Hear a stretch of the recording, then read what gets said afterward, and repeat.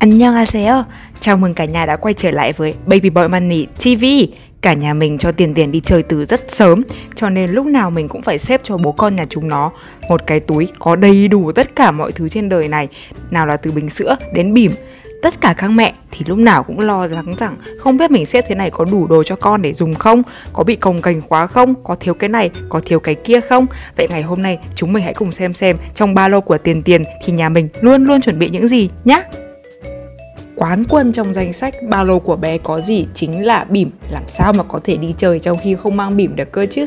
Các mẹ có thể mang bỉm dán hay bỉm quần đều được. Số lượng thì hoàn toàn tùy thuộc vào cái việc các mẹ định ở bên ngoài.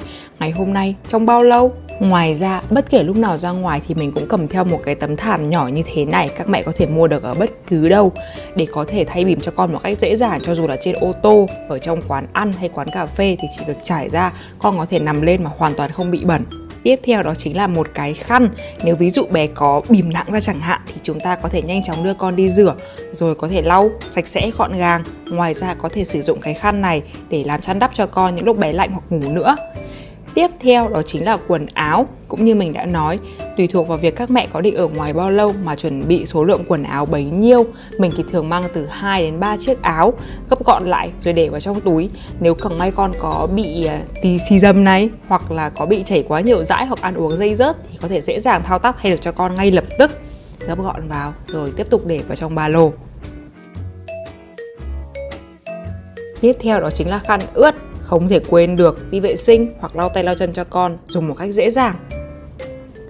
Với cả bé tiền tiền nhà mình thì bé chảy dãi rất là nhiều, thì cho dù đi đâu mình cũng phải mang theo cả một tập khăn sữa để thường xuyên chấm mồm, chấm miệng cho con.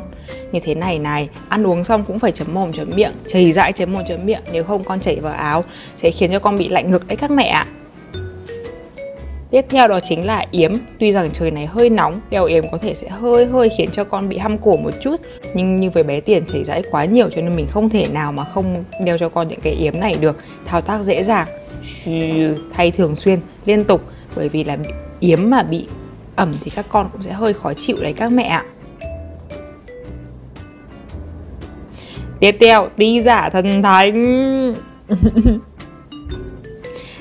và mình không bao giờ quên mang theo những cái đồ ăn dặm hoặc là pudding hoặc sữa chua để cho con có thể ăn được luôn mà mình không mất quá nhiều công chuẩn bị khi đang ở bên ngoài. Chỉ cần là một hộp như thế này, bỏ vào trong túi, mang theo. Đến lúc con cần ăn thì mở ra ăn.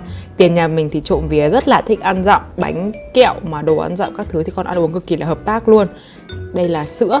Bình thường thì mình biết là phải cho nước vào rồi mới cho bột, nhưng mà ở điều kiện bên ngoài thì mình thường cho sẵn bột vào trong bình, rồi cầm theo một cái phích nước sôi như thế này, để cứ thế là cầm theo khi nào cần là có thể đổ vào, lắc thật là mạnh lên. Rồi cho con ăn được ngay, mà lại không phải mất công đong hay là đếm xong rồi là phải đi xin nước sôi thì sẽ rất là bất tiện các mẹ ạ sự lựa chọn cuối cùng khi đi ra ngoài đó chính là nên mang điệu này, nên mang xe đẩy hay là chỉ đơn thuần là bế con. Cái này thì hoàn toàn tùy thuộc vào việc các mẹ định đi đâu và đi trong bao lâu. Như bình thường, các nhà nào mà có xe riêng ấy thì có thể cầm theo một cái như thế này này, để để trên ô tô cho con nằm. Nhưng mà nếu chỉ đi gần thì có thể chỉ cần bế con thôi cũng được. Nhà mình thì những ngày tháng nóng thế này đã đắp riêng cho tiền một cái quạt ở trên xe đẩy, trông rất là đáng yêu. Đây này Đó, các mẹ đã nhìn thấy không? Ngay cả khi nhét nhiều đồ như vậy rồi mà trong ba lô vẫn còn có thừa đủ chỗ khiến cho mẹ có thể cho được ví này, điện thoại này, thoải mái luôn. Cảm ơn các mẹ đã theo dõi video trong ba lô của Tiền Tiền có gì ngày hôm nay và hẹn gặp mẹ ở vlog lần sau. Bye bye!